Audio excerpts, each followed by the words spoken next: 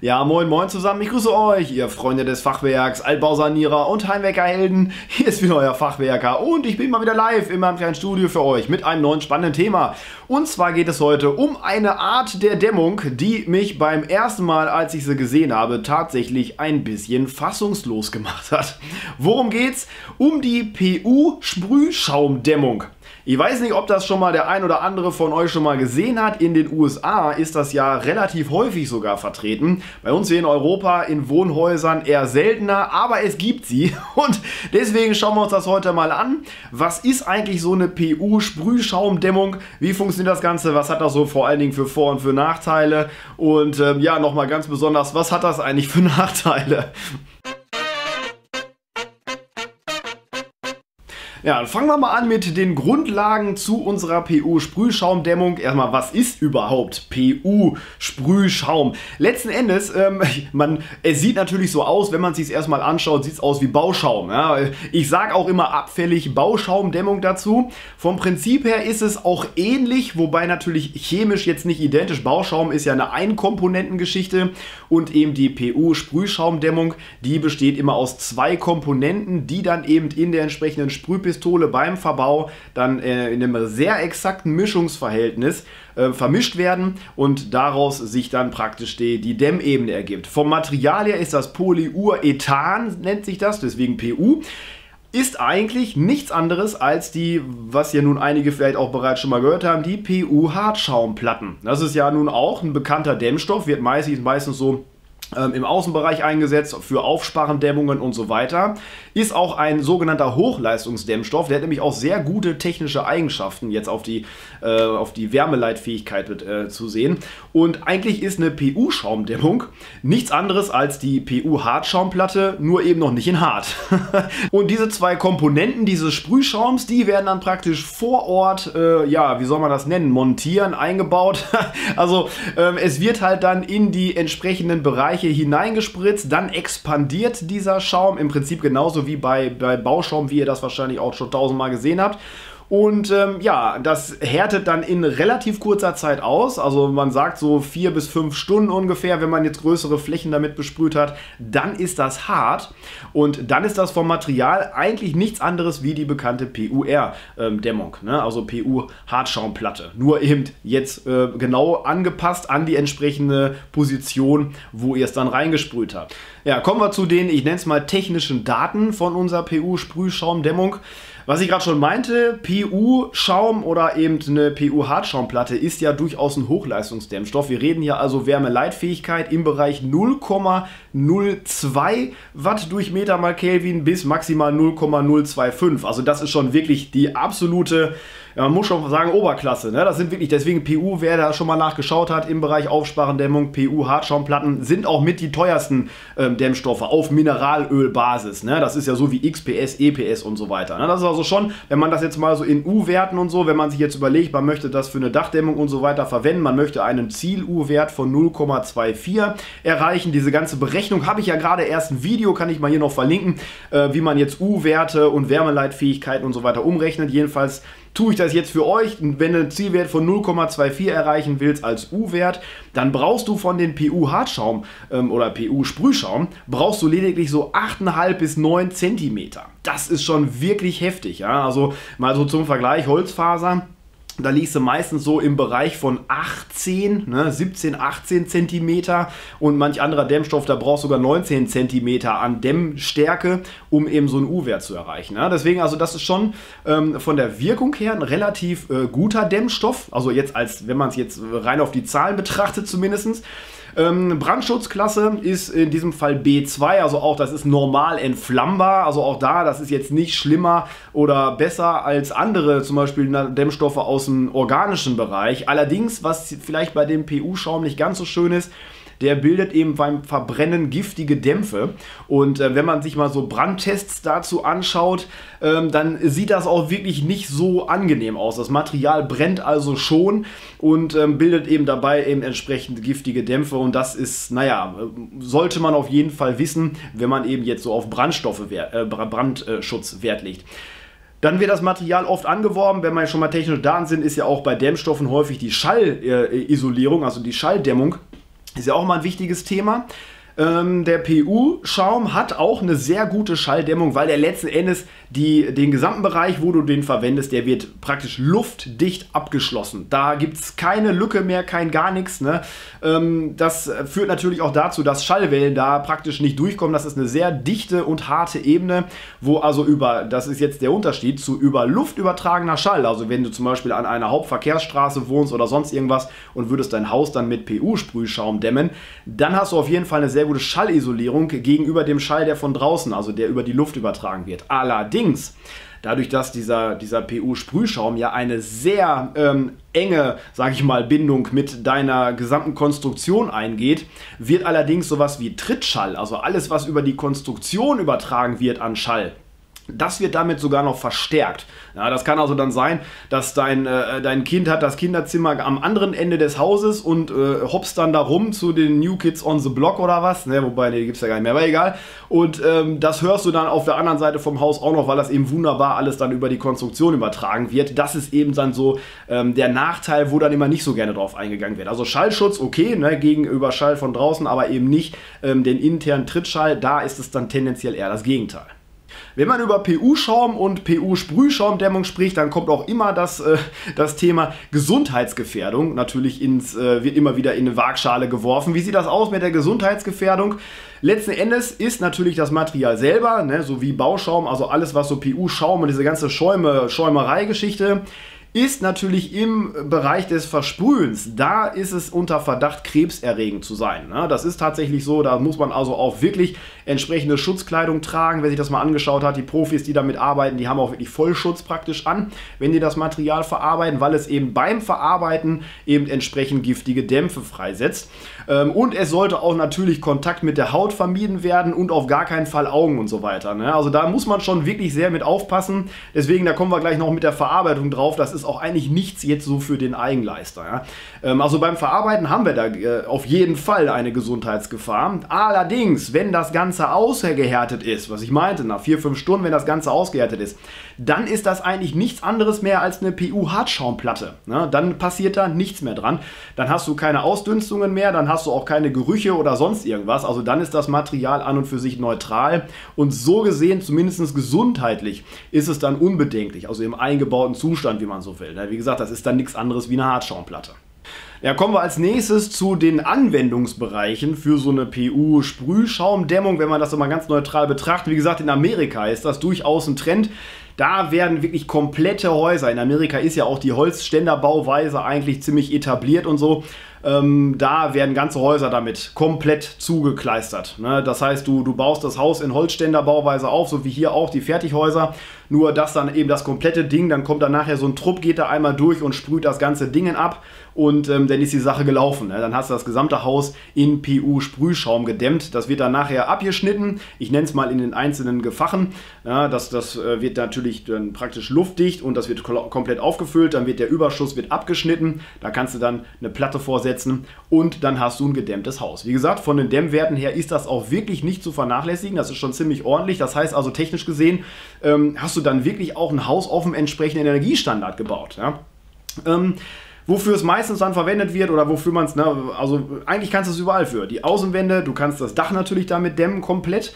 Wofür es häufig auch verwendet wird, das sind also jetzt auch mehr so die Standardanwendungen in der Industrie, dass man damit zum Beispiel Hallen, ähm, Hallenbereiche dämmt, ne, überall an den Decken oder Wandbereichen, wo es eben jetzt nicht so auf die Optik ankommt, sondern eher darauf, dass das Ganze möglichst ähm, isoliert ist gegenüber irgendwelchen äh, Temperatureinflüssen. Ja. Was man auch machen kann, als was ich schon gesehen habe, als relativ platzsparende Dämmung, was ja tatsächlich ein Problem ist häufig, ist ja die Kellerdecke. Man hat jetzt so einen alten Keller unter seinem Haus und man möchte jetzt die Decke vom Keller zum Erdgeschoss gedämmt kriegen. Von oben ist das oft sehr schwierig. Die Decke kriegst du meistens von oben nicht gut gedämmt und man versucht die Kellerdecke von unten zu dämmen. Hat aber dann häufig das Problem, dass der Keller sowieso nur 1,70 oder so hoch ist, wenn überhaupt. Und wenn man da jetzt irgendwie noch 30 cm Dämmung drunter klatscht, dann ist da nicht mehr viel von übrig.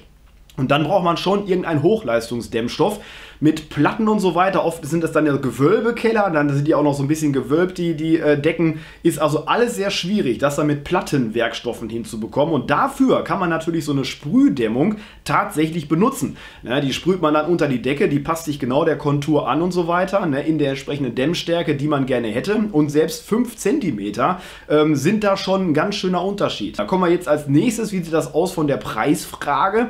Ist ja auch mal so ein Ding bei Dämmstoffen. so ist eigentlich jetzt das Material an sich, also der PU, was ich eben schon meinte, PU-Hartschaumplatten sind eigentlich mit das teuerste Material, jetzt wenn du so um mineralische, äh, synthetische Dämmstoffe redest.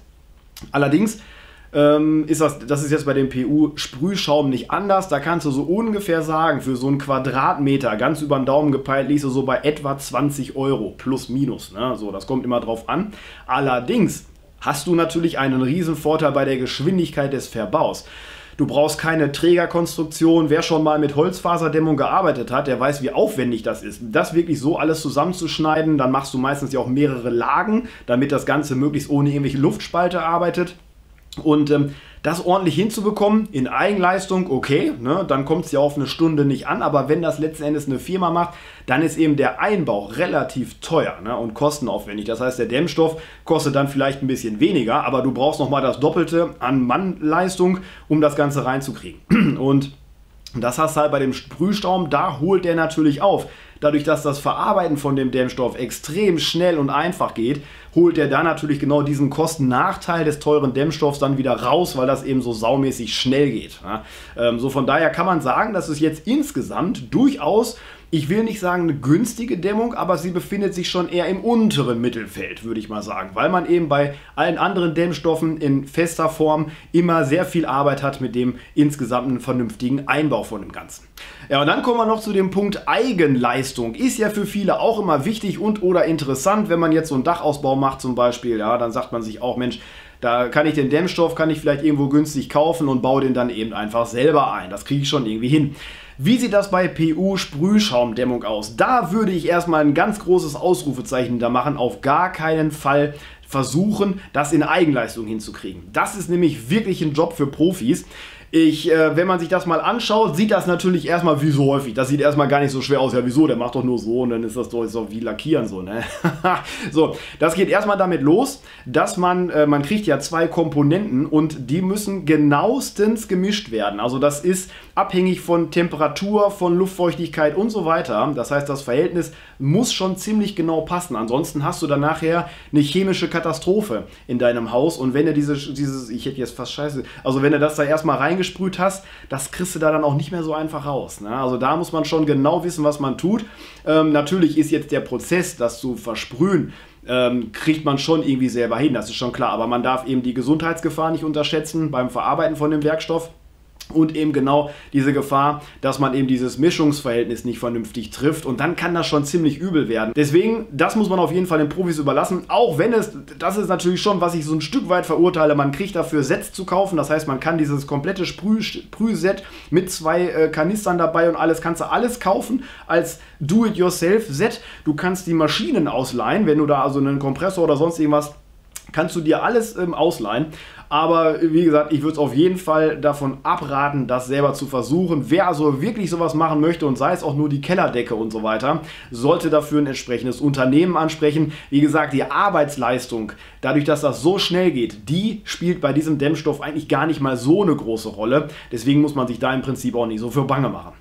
Ja, dann kommen wir doch mal zu den Vor- und den Nachteilen von unserer PU-Sprühschaumdämmung. Ja, man mag es kaum glauben, auch ich muss es zugeben, der, das Material hat tatsächlich auch noch positive Eigenschaften. Fangen wir mal an, auch genau hier mit den Vorteilen. Also, zum einen natürlich ganz klar die Verarbeitung. Wenn ich das Ganze jetzt ähm, bei uns zum Beispiel im Dachbereich, wenn man sehr viele Ecken hat, das Ganze sehr kompliziert von der äh, Geometrie ist, will ich mal sagen, dann tut man sich da schon schwer, da mit irgendwelchen Plattenwerkstoffen, also Holzfaser, äh, selbst im Mineralwolle ist das Ganze alles sehr, sehr schwierig dann bleibt fast nur die Möglichkeit eben über irgendwelche Einblasdämmung zu, zu reden oder vielleicht eine Stopfdämmung. Aber auch das ist dann sehr schwierig, das wirklich bis in die letzte Ecke komplett wärmebrückenfrei hinzubekommen, ist sehr schwierig. Und da ist natürlich der PU-Sprühschaum praktisch perfekt für geeignet, weil damit kannst du jede Ecke bis aufs letzte Millimeter, kannst du damit luftdicht abschließen. Das schaffst du wirklich nur mit so einem PU-Sprühschaum. Ne? Der geht da halt ziemlich brutal bei. Ähm, der füllt wirklich jeden Raum komplett aus. Dann ist das Ganze absolut luftdicht. Das ist der nächste Vorteil. Durch eben genau diese absolut dichte Verarbeitungsweise hast du auch so gut wie keine Gefahr für irgendwelche Wärmebrücken. Das kennt man auch häufig, wenn man so gewisse Ecken nicht vernünftig hinbekommt oder die Überlappung nicht stimmt oder wenn man die Holzfaserplatte ein bisschen schief geschnitten hat, dann ist da ein Luftspalt zwischen und dann hast du wieder eine Wärmebrücke. Das hast du eben auch hier die Gefahr bei dem PU-Sprühschaum eben nicht. Ne? So, dann die Verarbeitung ziemlich schnell, habe ich ja eben schon gesagt. Die Profis halten sich da auch nicht lange dran auf. Ich hatte gelesen bei einer Firma, die sagen so, im Industriebereich, klar, da hat man natürlich nur eine große breite Fläche, aber da schafft eine Person durchaus um die 700 Quadratmeter, wenn es mal drauf ankommt. Also da sieht man dann aber, ihr habt es ja auch gesehen, man rennt da einmal dran vorbei, sprüht das rein. Und wenn man da die Übung für hat, dass man die Geschwindigkeit und so, dass man weiß, wie es geht, dann äh, glaube ich das auch, dass man da relativ viel in relativ kurzer Zeit hinbekommt. Also die Geschwindigkeit der Verarbeitung, das Ganze natürlich auch von den Aushärten, von den Zeiträumen her. Ähm, da, da kommt praktisch morgens einer vorbei und mittags kannst du dann schon von innen die USB-Platten dran schrauben. Ne? Also jetzt so ein bisschen überspitzt gesagt. Das hast du natürlich auch, diese Geschwindigkeit mit anderen äh, Dämmstoffen nicht. Ja, dann kommen wir zu den Nachteilen unserer PU-Sprühschaumdämmung. Und einen der größten Nachteile, die man sich immer vor Augen führen muss, ist dieses Zeug einmal in dem Haus eingebaut, sei es jetzt als Wanddämmung, sei es als Zwischensparrendämmung oder was auch immer, dann kriegst du das da so gut wie gar nicht mehr raus. Das ist ein Riesenaufwand, dieses Material da wieder rauszukriegen. Du musst also wirklich da mit äh, Messer und Säge und sonst irgendwas müsstest du das entlang der Sparren ähm, rausschneiden und hast trotzdem noch überall Reste, die du dann noch abknibbeln darfst und so weiter. Also ähm, so schnell der Einbau auch geht, der Ausbau ist, ich will nicht sagen unmöglich, aber der ist schon ziemlich nah an unmöglich. Das ist also, wenn da irgendwas schief geht und oder du möchtest das mal raushaben, ist das faktisch ein Totalschaden. Ja? Dann hast du da wirklich, man muss sich ja mal vorstellen, der, der, der, dieser Sprühschaum, der geht ja auch eine, schon eine Verbindung mit dem Material ein. Also wenn du das jetzt in deinen Dachstuhl einbaust, ne, einmal in die Runde, dann hast du praktisch so einen Dachstuhl, das, das ist eine, eine Masse. Das ist nur noch eine Masse. Komplett das ganze Teil. Und den wieder auseinander zu klamüsern, da diesen ganzen äh, Schaum rauszukriegen, ähm, kannst einen Haken hintermachen. Ne? Da wirst du nicht glücklich mit. Da kann man auch wieder sagen, siehe USA. Da ist es nämlich tatsächlich so, dass von entsprechenden Immobilienunternehmen und, und Ratingagenturen, wenn die dein Haus bewerten, hast du so eine Sprühdämmung in deinem Haus ähm, installiert, dann wird dein Haus abgewertet ja, dann bekommst du da weniger für. Dann sagen vielleicht sogar manche Immobilienmakler, nee, das möchte ich gar nicht in meinem Portfolio haben. Und du wirst auch sehr viele Käufer haben, die aufgrund dieser Tatsache das Haus gar nicht erst kaufen würden, weil es da eben auch ne, immer noch so kleine Probleme gibt. Ne? Man muss dann immer sagen, das wäre so ein Nachteil. Die Struktur ist zwar durchaus ein bisschen äh, geschützt durch den äh, Schaum. Ja? Den Schaum gibt es in diffusionsoffen und diffusionsdicht. In den meisten Fällen wird diffusionsdicht verbaut. Das bedeutet natürlich, dass jetzt so ein Holzdachstuhl ja durchaus auch ein Stück weit konserviert wird. Wenn aber irgendwo mal Wasser reinläuft ne, oder eben das Holz nass wird, dann hat das Holz auch keine Chance mehr abzutrocknen. Das heißt, dann verfault ihr das komplett innerhalb der Konstruktion. Dazu kommt, dass so eine komplett luftdichte Gebäudehülle ja auch nochmal ganz andere Probleme mit sich bringt. Das wäre so der nächste Nachteil. Wenn ich nämlich so eine komplett luftdichte Hülle hinkriege, dann habe ich praktisch, wer so ein Passivhaus schon mal gewesen ist, das ist ja auch komplett luftdicht, dann hast du nochmal ganz andere Probleme. Dann brauchst du eine Zwangsbelüftung, äh, sowas wie eine Dunstabzugshaube, die funktioniert nämlich sonst überhaupt gar nicht mehr. Ne? Das sind alles so Kleinigkeiten, wo man erst im Altbau, wenn man sowas jetzt nachträglich installiert, gar nicht so dran denken würde. Naja, und dann vielleicht noch das Problem mit der Schallübertragung. Klar, der Luftschall, der wird super gedämmt durch die ganze Geschichte, aber eben nicht der Trittschall und oder eben der gesamte Schall, der durch die Konstruktion übertragen wird. Das wird tendenziell eher verstärkt. Wie ich eben schon meinte, wenn man jetzt das, das Beispiel Dachstuhl nehmen würde, das ist ja eine, das ist nachher ein Bauteil. Ne? Das ist nachher durch diesen Sprühschaum ist das ein Bauteil. Und ähm, dann ist klar, wenn ich auf der einen Seite vom Haus dagegen klopfe, dann überträgt sich das im schlimmsten Fall bis auf die andere Seite des Hauses. Und naja, das ist jetzt auch nicht so das, was man wahrscheinlich sich so unter Schalldämmung dann vorstellen würde. Ja, dann kommen wir zum Abschluss noch auf eine kleine Zusammenfassung und ein Fazit von meiner Seite zur PU Sprühschaumdämmung. An der Stelle aber erstmal noch ein dickes Dankeschön an alle Zuschauer, die mein letztes Video geschaut haben, vielleicht einen Kommentar dagelassen haben und oder einen Like. Ja, das ist immer sehr wichtig, gerade bei diesen kleinen Randthemen hier über Dämmung oder über Dämmstoffe. Das sind meistens Videos, die von dem YouTube-Algorithmus nicht so äh, benutzt werden, um sie mal irgendwem anzuzeigen. Deswegen ist es da enorm wichtig, dass von eurer Seite ein bisschen Interaktion kommt. Damit und unterstützt ihr meinen Kanal wirklich sehr, sehr gut und ähm, dafür danke ich euch. So, jetzt aber PU-Sprühschaum. Würdest du dir PU-Sprühschaum in dein Haus einbauen? Das würde mich mal interessieren. Ich würde es nicht tun, ganz ehrlich, auch wenn wir ja gerade einige Vorteile durchaus genannt haben. Der Schaum an sich, ähm, ja auch vom Material her, was ich meinte, letztendlich ist das eine PU-Hartschaumplatte, nur eben gesprüht. Ist also jetzt nichts wirklich Besonderes. Ja? Es ist ein Hochleistungsdämmstoff mit sehr guten Eigenschaften, also jetzt von der dämmtechnischen Seite her gesehen. Gut, im Brandfall möchte ich mich in dem Haus wirklich nicht aufhalten, wenn da PU-Schaum verbaut ist.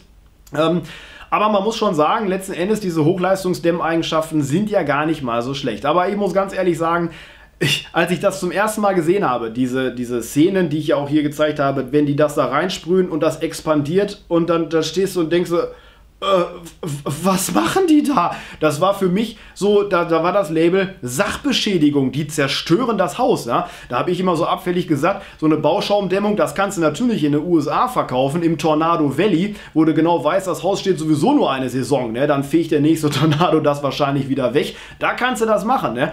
Aber letzten Endes ist das ja dann ein mega Sondermüll. Ich meine, überleg dir mal, du hast jetzt so einen Dachstuhl, das ist mit diesem PU-Schaum gedämmt.